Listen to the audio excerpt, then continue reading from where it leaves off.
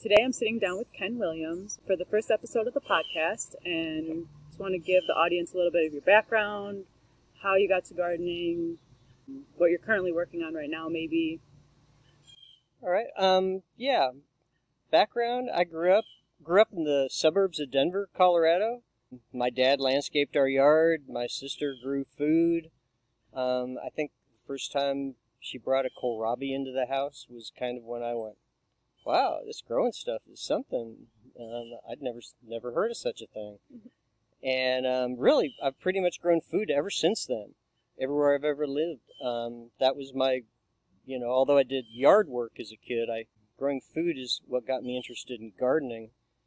And then, um, well, I guess it was in the '90s. I'd been living in in southeast Kansas in a small town, growing a lot of food and doing various jobs and um, happened to get a job at a local um, city park. And a couple years later, the horticulture position came open, and I had never occurred to me that you could get paid for to be a gardener. But um, I worked there for 16 years, and just did whatever I want to, pretty much as long as I kept it kept getting prettier. People, you know, didn't mind how weird it was what I was doing because I rejected a lot of the stuff they'd been traditionally doing. They had a lot of shrubs that were cut into these contrived shapes, and I couldn't believe how much time we wasted cutting those back um, over and over and over. And so when I got control of the program, I just took a tractor and a log chain and pulled those suckers out of the ground and replaced them with things that um, I could let, let grow the way they wanted to grow. Um, I didn't have to make them grow the way I wanted them to grow. It freed up so much time that the place became beautiful. Um, I was back there for a wedding. You know, it's been 12 years since I lived there, but I was back there for a wedding recently, and I met somebody who I I knew her husband and I'd known of her, um, and she's a big time gardener in the area. And you know, she said, "Oh, you're Ken who used to work at the park. Well, you're legendary." Because you know because I've really made an impact. After I left, they pretty much went back to more conventional methods, and they ran out of manpower. And and when I go there, people say, "Oh, Ken, don't go. You don't want to see it." I, I really don't know what it looks like. But I moved here, and my wife Christine Nye was a horticulturist at the Shedd Aquarium. We met through a zoo horticulture organization because we had a zoo at the park where I worked in Kansas and um, zoos include aquariums. So we met through that organization. I moved here 12 years ago, and um, you know, got involved with people who were do, working specifically who who had embraced the what we call the gospel according to Doug Tallamy, um, which is that um, we need to use our landscapes to feed insects in one way or another because insects are such an important link in the chain between the plant kingdom. You know, this, the sun goes to all this work to send this energy all the way from the sun to here. These plants take that energy, convert it into chemical energy, and then our idea in landscaping is that it should just sit there and we should look at it and be thankful. And in fact, that's just a step in the process. The next step is for insects to eat it, and then for bigger things to eat the insects. And what Tallamy zeroed in on is the fact that most songbirds feed their babies mostly caterpillars. And caterpillars are mostly very host specific. Uh, people know about monarchs and milkweed, that monarch caterpillars can't eat anything but milkweed, but most um, caterpillars are specific to, to some degree or another. And um, so we have to be aware of that and to provide not just butterflies and moths and caterpillars, um, but also all kinds of bees and different kinds of pollinating plants. We have to provide for all of them. We can't just take them for granted. And when we grow lawns, um, you know, lawn is something that the the British landed aristocracy, you know, decide, You know, everybody knew what a sheep pasture looked like. It was pretty, you know, and then people, because it was grazed down nice and smooth and it had a diversity of different things growing in it.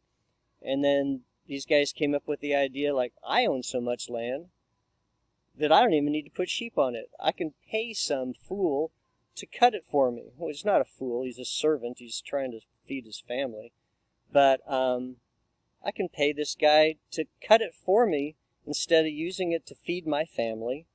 And um, and so it became a status symbol. And then when they when when everybody had that, you couldn't show off with that. Then they came up with the idea, you know, hedging trees, shrubs into hedges for different reasons was a had been something people had done for thousands of years to produce poles, to produce wood for charcoal, to do all kinds of different things, cutting back woody plants over and over for the purpose of letting them grow.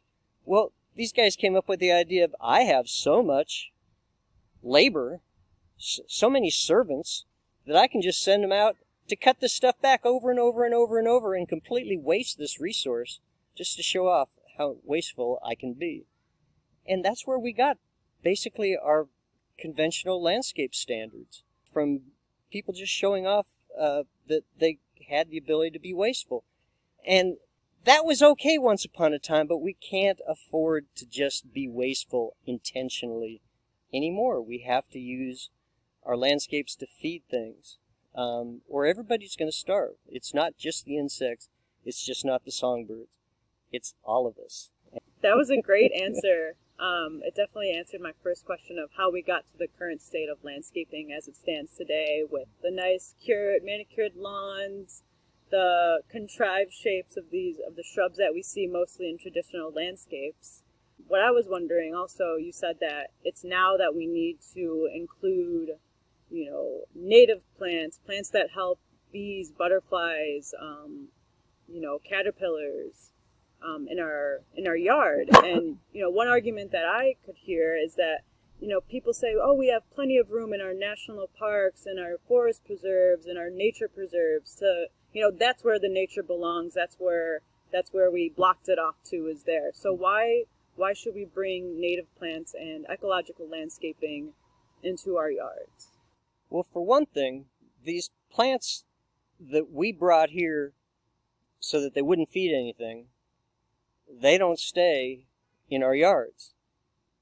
Go to some of our natural areas, anywhere around the Chicago area, and the majority of them are a disaster because they're invaded by honeysuckle, by burning bush, by barberry, and um, and buckthorn, of course, and you know that are wiping out all the native vegetation and we really don't have there are some beautiful natural areas around here don't get me wrong there are some fantastic ones. But there are limited resources for maintaining these and the people who do the work have to focus on their highest quality sites. And a lot of these sites you know they'll bring in a Fecon mower that mows everything to the all the woody invasives to the ground you know once every 10 or 15 years they get a grant to do that and and they mow everything down and then everything sprouts back and they don't have the time to follow up. They don't have the resources. It's, you know, in these natural areas, there, there are some great ones. We were just talking earlier about Boloria Meadows here in McHenry County that's so fantastic and it's been, it's been maintained and it, it's stayed good, but so many of them, but in your yard, you have the opportunity to be responsible a responsible steward of just that little piece of paradise that you own. Um, and, you know, so do it. Just, you know, don't just, you know, and like we were talking about lawns, you know, when I was a kid, I remember my dad explaining to me the importance of um, clover growing in a lawn. And everybody understood that.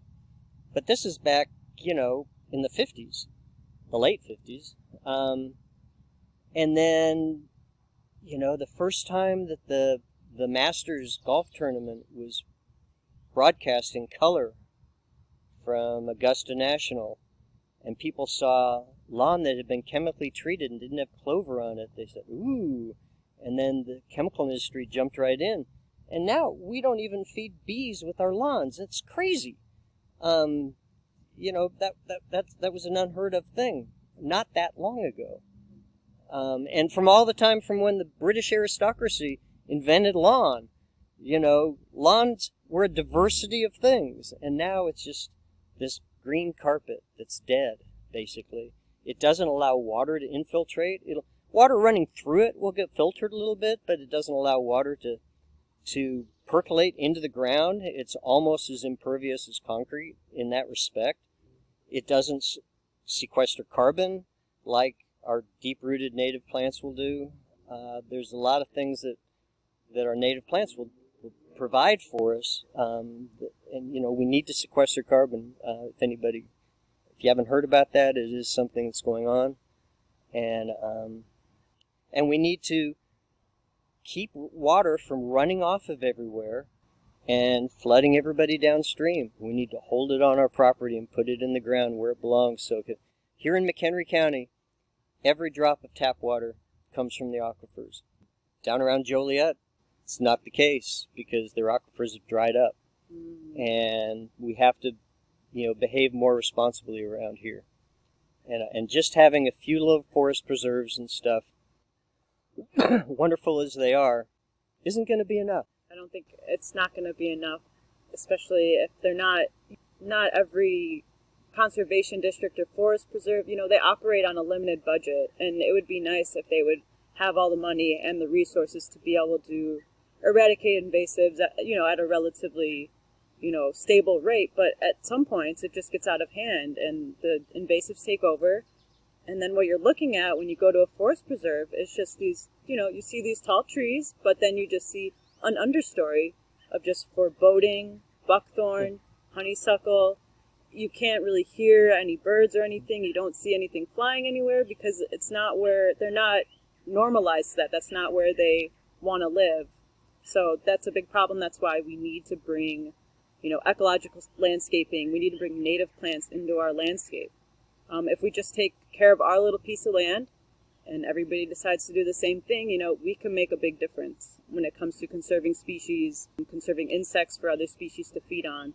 So that's why I'm such a big proponent, and as well as Ken is such a big proponent of native landscaping.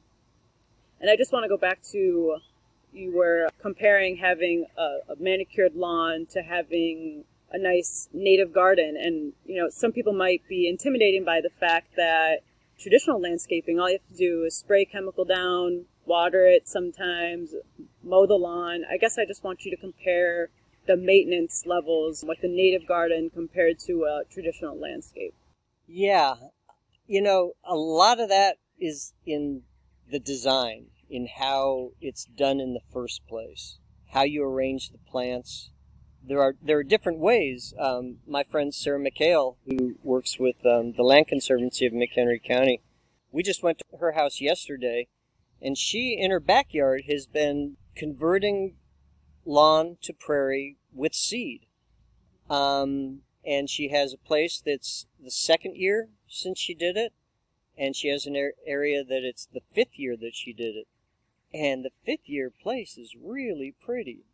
The second year place is it's a lot of uh, black-eyed Susans because mm-hmm. um, they come up fast and they grow fast, and she puts a lot into this original seed mix, so it's pretty. But the diversity in the other, and she, you know, that's what she does in the evening. She goes out and she walks around and she finds the wrong thing, she pulls it out. It's not much work. It's quieter. You know, she's never sitting on a lawnmower in these places. She still has lots of lawn. But around in the front of the house, she has very formal native plantings that are all all straight species natives. She's got the ground covered with cool season ground cover native plants like um, prairie smoke and like our native violets, violets sororia, and it's the native weedy violets. But they're great. They're easy to weed out if you decide you don't want them, but they cover ground. And when you have the ground covered early in the season, then that's when the weeds are germinating. And if the ground's already there's already something there, then the weeds don't have anywhere to germinate. Weed seeds need sunlight to germinate, and that's why we use mulch. But the problem with mulch is, for one thing, none of our plants co-evolved in it. For another thing, um, it doesn't last. Tree seeds, you know, Melissa and I used to work together maintaining mulched gardens all over, you know, the Fox River Grove, Cary area. And, you know, we spend most of our time killing, or a lot of our time, killing little baby trees, uh, buckthorn trees and different things.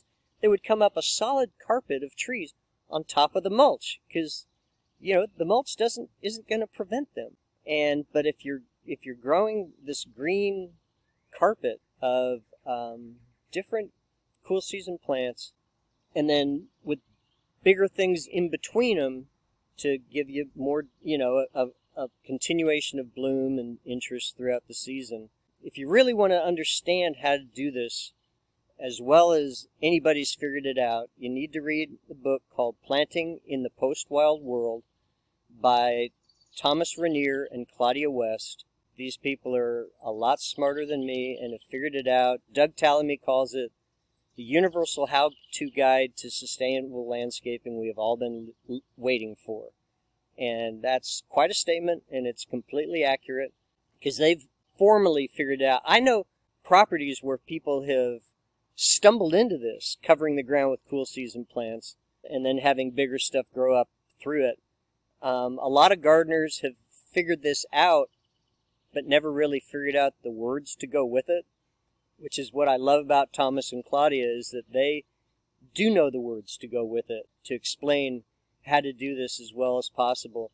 But, you know, as far as how much maintenance it is, I'm not going to tell you that it's it's no work. It is work. But for one thing, it's much quieter. You're not burning fuel. You're not running you know, my neighbor over here, he has a beautiful landscape. He's a he's a hardscaper and does beautiful work. He has a, the the pizza oven and and all that stuff, and a lot of flowers growing in pots, and it's it's really gorgeous. And there's barely a day goes by that I'm not listening to his blower, you know, because he's he's always I don't know what it he's blowing, but he's always running. He's always got one machine or another going over there and go out in a residential neighborhood. You know, I mean, open your window, take a listen. There's always machinery running, and there doesn't have to be. We it, these these uh, especially the two cycle machines we use for for blowers and weed whackers and stuff. They're incredibly inefficient. The amount of pollution they put out. Uh, there are numbers you can look them up. You know, it's like driving halfway across the United States to mow a lawn. You know, it's bad stuff. We need to quit doing it. It, it's not just that it's less work. It is less work, but it's so much better work. Spraying chemicals. To, my lawn right here that we're sitting in is full of creeping Charlie. You know, and it's work for me to keep it from growing out into all the gardens. But uh, I tried to kill it one time with vinegar. Had really good luck one time, and then tried it again and didn't have good luck. So you know that was a great description of maintenance and how it relates to a traditional landscape um, I think it's just a lot more rewarding too when you see the butterflies and different types of oh. bees oh. and dragonflies. How rewarding! You told me earlier that you had. I mean, there's a little hummingbird I see right now sitting on top of a dead tree, and it is just a wonderful image. And that's not, you know, an everyday um, occurrence what people see in their traditional landscape. And so I think it's a lot more rewarding when we plant um, native plants, use ecological landscaping because it feels good to do it. And if you want to, if you think about the environmental consequences of mowing the lawn, using all that gas, applying fertilizers that will get into our watershed at one point, end up in a stream, and affect, you know, different levels of the food chain. If you just think about the environmental consequences and how much input you have to put into a traditional landscape compared to a native landscape, I mean, it's a no-brainer. What we if we really care about the environment. Yeah, and water. And water you know, as well. Um, you know, our our yard, the only input, our yard has two, three inputs.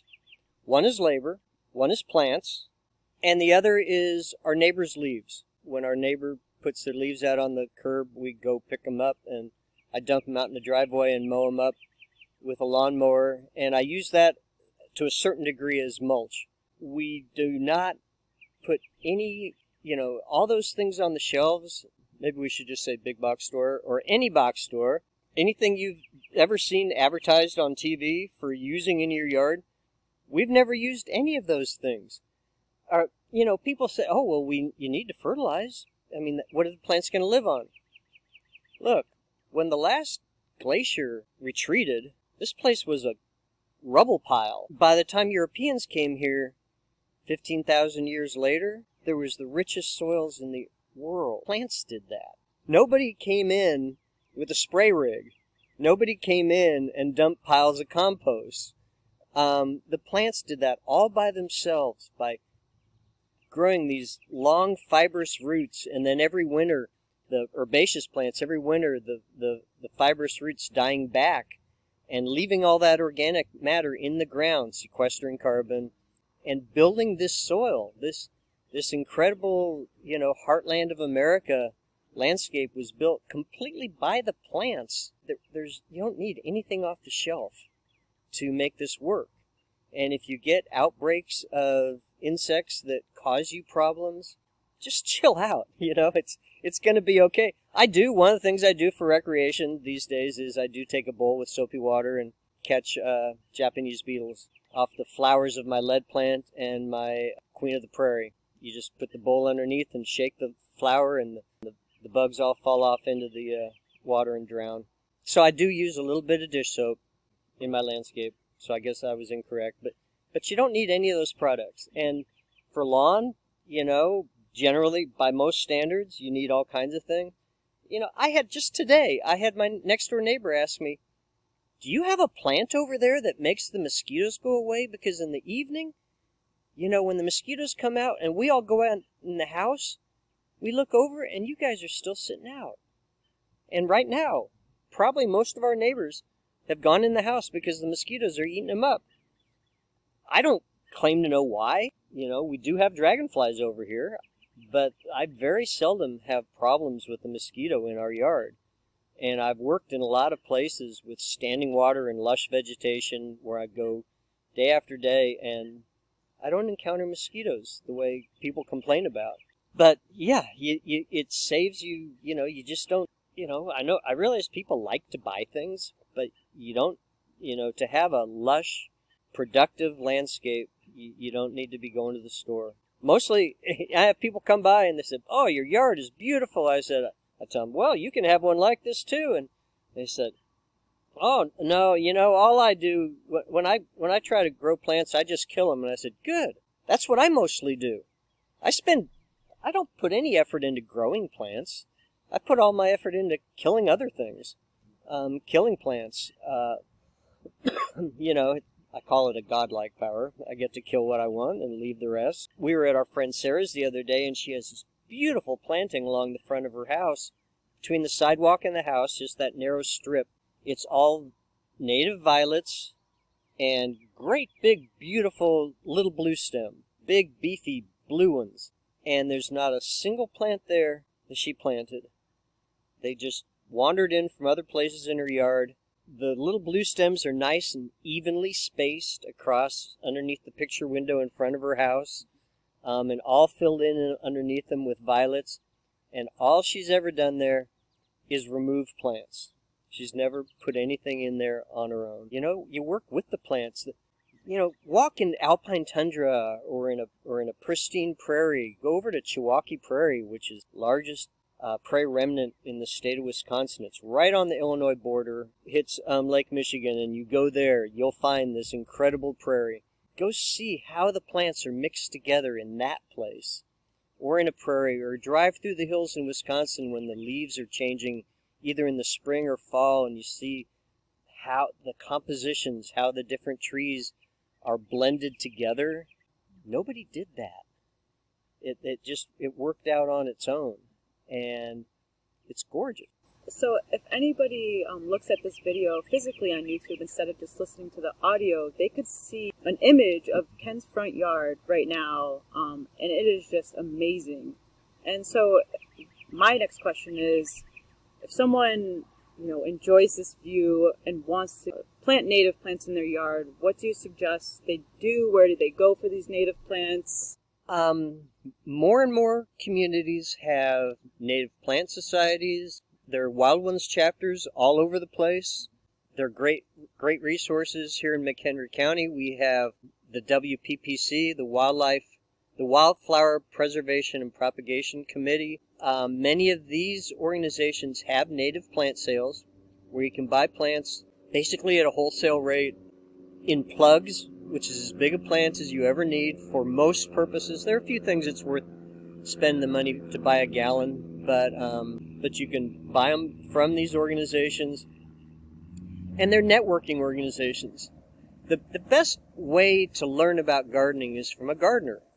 So if you're walking down the street, driving down the street, and you see a, a landscape, oh, that's that's that native stuff they're talking about.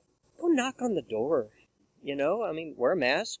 When you see somebody out in their yard, talk to them. You know, I've had people ask me, you know, do you ever have leftover plants? I said, well, yeah.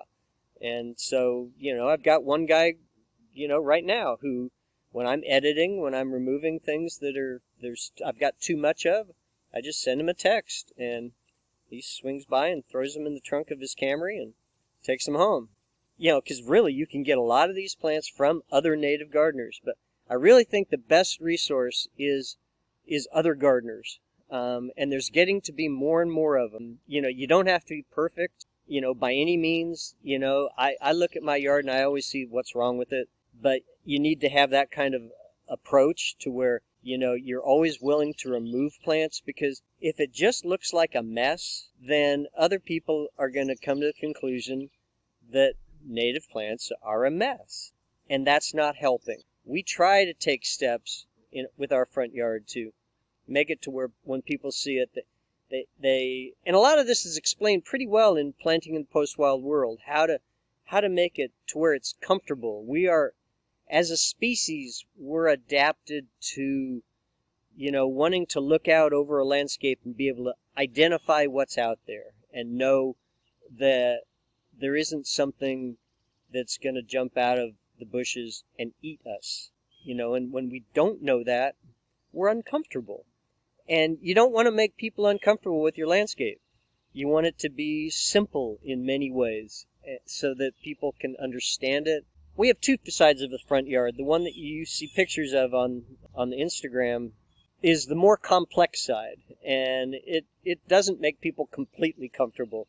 The other side is a little a little more well defined. Um, having certain big features makes people comfortable because you see a tree, you know what a tree is. So try to make things, keep things simple, design in swaths of, of colors, and make it pretty. Because the thing is, what we can do with native plants compared to what we've gotten used to with the poodle cut shrubs and the manicured lawn, which is so sterile. It's just really kind of sad.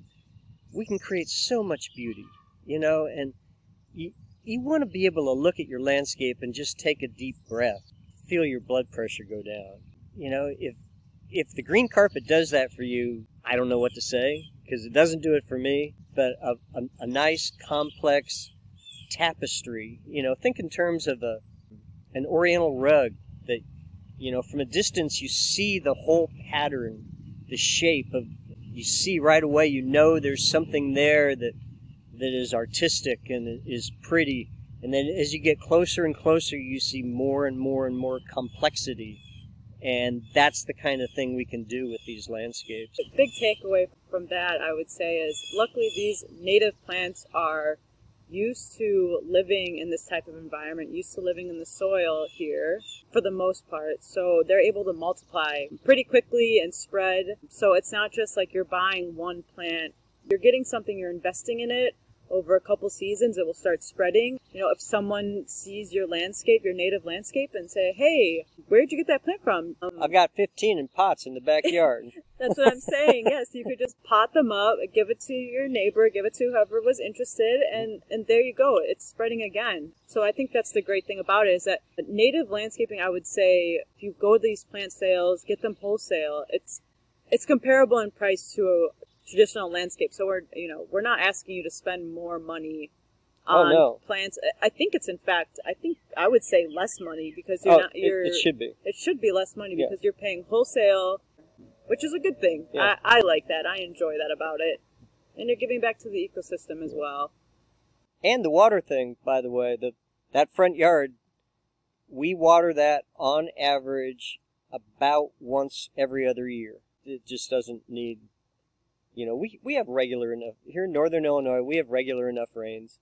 Sometimes if we happen to go into a dry spell, you know, there might be something that blooms that only blooms for a week instead of three weeks because it, the plant was stressed. And that's, that's, you know, unfortunate. And if a week and a half ago, I was looking at my landscape and saying, you know, this might be that one one year at a at a two or three when we water. We might water here within the next week or two, but we've gotten several rains since then, and so yeah, you don't need water if if you have an existing irrigation system. That's fine.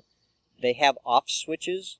I think it was 2010 or 11. We had a drought year, a bad drought year Yes. and I saw a talk the next year by a guy who um, was an irrigation specialist for Davey Tree, you know, which is a national company, and they've got some really talented people who work for that company.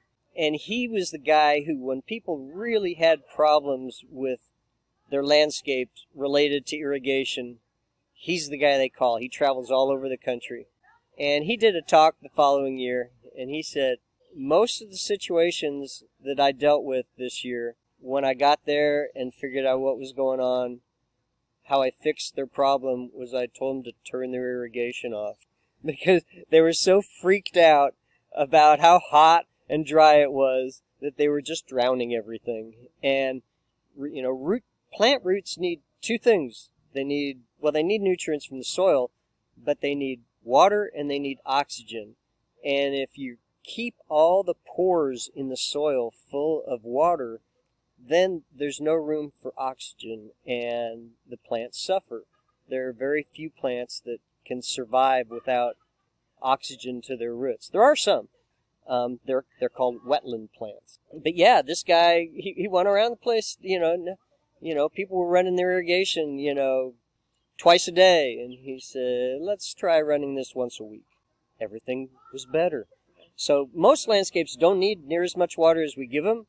If they if a water if a place does need a lot of irrigation, chances are you're growing the wrong plants. There is a misconception that our deep native deep rooted prairie plants are accessing deep water. It's there's no science behind that. They, they get their water from pretty much the top six, 18 inches of the soil, just like most of the trees do. Trees do most of their feeding, most of their watering in the top 18 inches of the soil. So this deep rooted business is about other resources, getting nutrients from deep down and, and, and energy storage also. Going back to the traditional landscape and what we just talked about with the water inputs, the good thing about native plants, like I said before, is that they're used to the amount of water we, we receive here every year. This is the climate they are used to, they adapted to over, you know, millions of years, hundreds of millions of years to live here in the Midwest. So when you think that it's dry or that there's a drought or you might need to water them a little bit, but day to day basis, there's not a lot of worry with water because they are used to receiving this amount of rainfall. Um, they've been adapted to it. The input again with when you're watering your lawn, it's you're going to put more water into your lawn, into your nice green lawn, than you will into a native landscape. So that's another good thing when we're talking about water scarcity issues, when we're talking about diverting water from natural sources.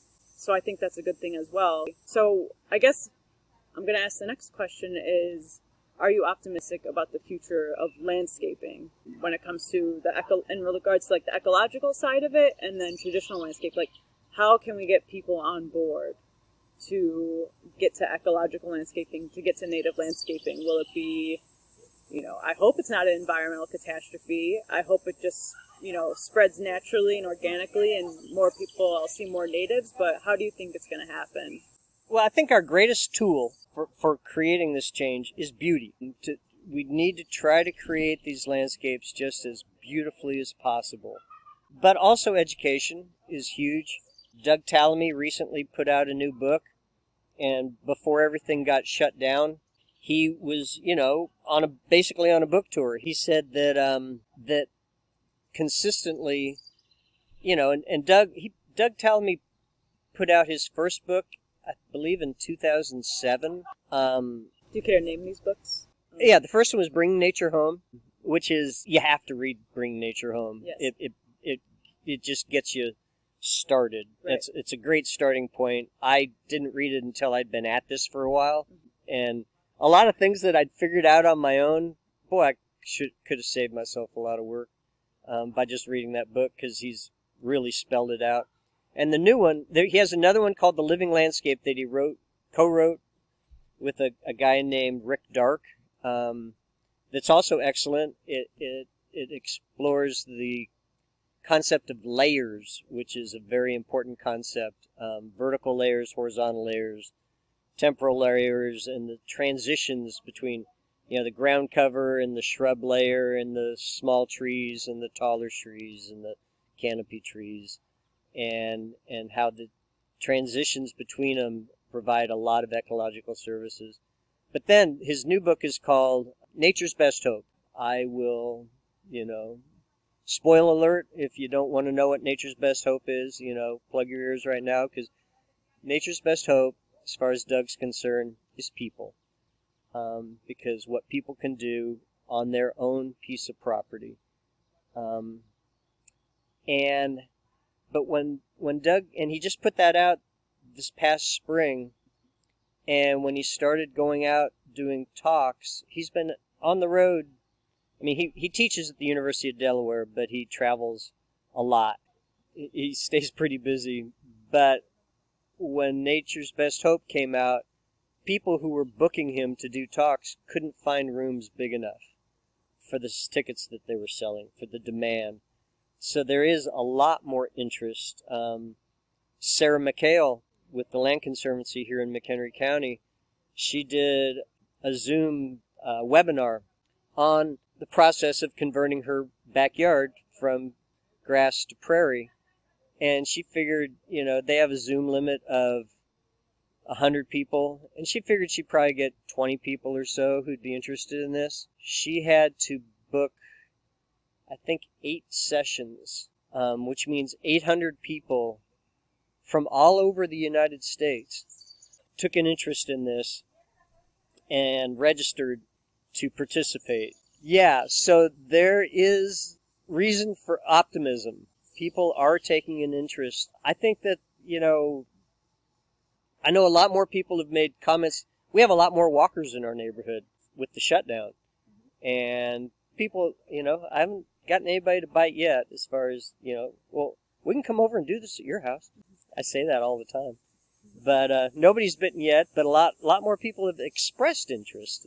That's that's very very encouraging to hear something like Sarah's Zoom meeting got so many people interested. It's so encouraging, and you know, for the most part, you see these articles about animals going extinct, and I work you know outdoors every day, and I see sites that are just completely you know overridden with invasive species, and it just seems like you know almost like a not like a lost cause, but it's pretty defeating when you see that. And just to hear something like that, something like Doug Tallamy's Nature's Best Hope, bringing in so many interested people, that's a great thing. That really makes me happy. And I will definitely link out to all the books that were mentioned in this podcast. They will be in the description on YouTube if anybody's interested in reading these books, buying them. I read the same books as Ken, and I'm a big fan of them all. I would suggest anybody that is remotely interested in native landscaping and saving um, the species that we have here and the ecosystem that we have here to read those books. You talk about, well, these plants are adapted to this climate. Well, the climate's changing. But, you know, and I don't mean to dismiss climate change by any means, but climate has, you know, we've had, we have a two, three year drought, and it's a major catastrophe. You know, in the last few thousand years, we've had droughts that lasted decades, and these ecosystems have rebounded. They're resilient.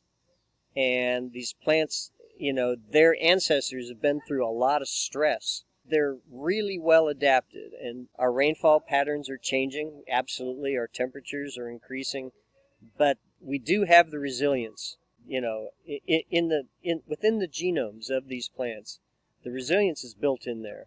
Because I have people tell me, well, with climate change, there's no such thing as native. No, you know, these things are tough, and mm-hmm. they're they are the things to use. If you will go to my YouTube channel, it's called Kenzhort, K E N Z H O R T.